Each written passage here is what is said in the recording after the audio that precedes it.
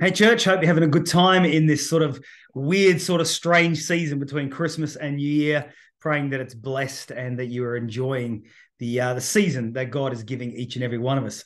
We're in part two of thinking about my best life now, your best life now. And yesterday we talked about two things. We talked about enjoying what you have and remembering that life is not about things. The third thing I want to focus our attention on today, in terms of you know enjoying our life and making the most out of life, is thirdly to not compare with others. It's a tragedy when we live our lives comparing with others. 2 Corinthians chapter 10, 12 says this We do not dare classify or compare ourselves. It is not wise. Wow. Exodus 20, 17, you shall not covet anything that belongs to your neighbor. Don't compare. Don't covet. Don't be jealous. And uh, I think sometimes, you know, certainly in this in this selfie generation, the reality is this: is that people who spend hours taking the perfect selfie, and then we look at that from where we live, and often can look at this staged image and think to ourselves, "It's not fair. Why does my life not look like their life?" I was once in in Africa with with my family. We were on a vacation actually, and we were on safari. And in this particular safari jeep, as we were looking at the animals, and it was an amazing view and amazing experience. There were these two young women in their twenties sitting in front of me and my son, and they spent all their time taking selfies, posing for the perfect shots. And the tragedy was this: is that even though the images that they took of themselves looked great, and the backdrop behind them, the tragedy is not only did they miss out on the beauty around them because they were so interested in themselves, but also friends and potentially family members who live around the world would see these shots and say, well, it's not fair. How come I don't have that experience? Comparison is a real, real tragedy. You know, they do say that comparison is a game of fools. And um, and if we live and and by comparison that that is a real great tragedy and can cause us to miss out on the opportunities before us. Somebody once wrote this if we're going to compare ourselves compare ourselves to this. Number one take out all the furniture in your house except one table and two chairs use a blanket and pads for beds. Number two take away all of your clothing except your oldest outfit and leave only one pair of shoes Thirdly, empty your kitchen cupboards and fridge except for flour, sugar, salt, potatoes, onions, and beans.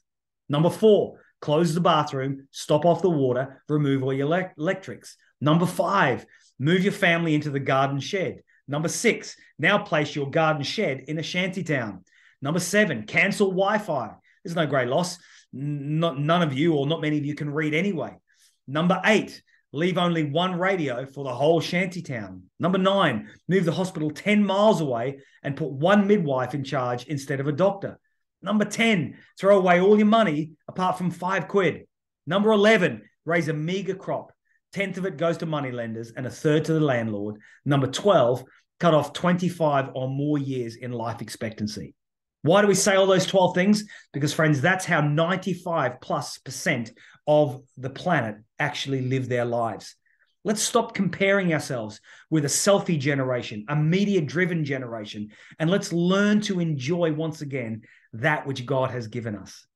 The fourth thing that I want to kind of share with you about living our best life now is to focus on the things that will last forever.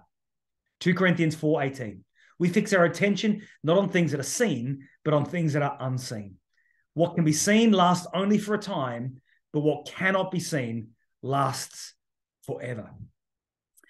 I many years ago I remember a preacher using a sermon illustration and getting on stage a very long piece of rope with a small mark in the middle. And he said, This small mark in the middle represents your life in the context of eternity from beginning to end.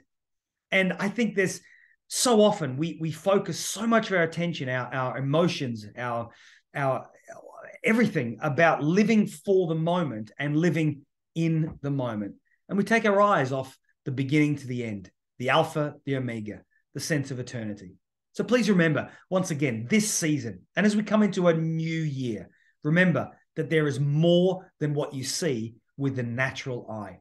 Let's focus our attention less on just stuff and more on things that live and last for eternity.